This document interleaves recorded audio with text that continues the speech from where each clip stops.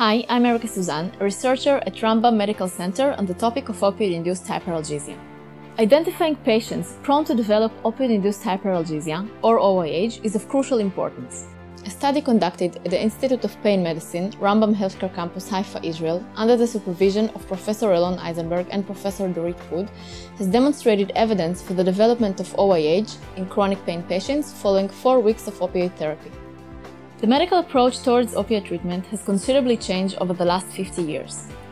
In the 1960s and 70s, it was considered inappropriate for any patient suffering from chronic pain to receive long-term opioid therapy.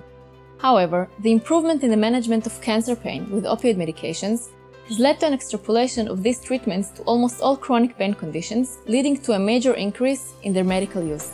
Although randomized controlled trials have shown benefit for patients treated with opiates for short periods of weeks to months, when discussing long-term opioid therapies, especially at high doses, the risk-benefit ratio is often unfavorable and patients with chronic pain may not always benefit from these treatments. Several reasons can be attributed for this lack of responsiveness, such as opiate tolerance, addiction, etc. More recently, opioid-induced hyperalgesia has been suggested as another potential cause for the reduced effect of opioids.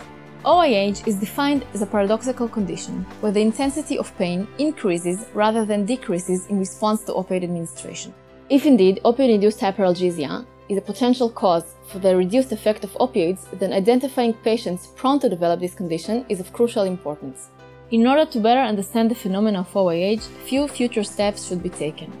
First, we should try to identify and characterize predictors for the development of OIH so we can better recognize those patients who will less likely benefit from opiate treatment.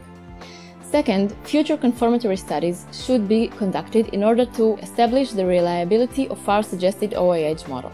In the study we conducted in Rambam, opioid-induced hyperalgesia was demonstrated in 55% of the participating patients with chronic neuropathic pain. OIH was assessed by thermal sensory testing of heat pain intensity in a non-painful area. Notably, clinical analgesia was also observed following four weeks of opioid treatment.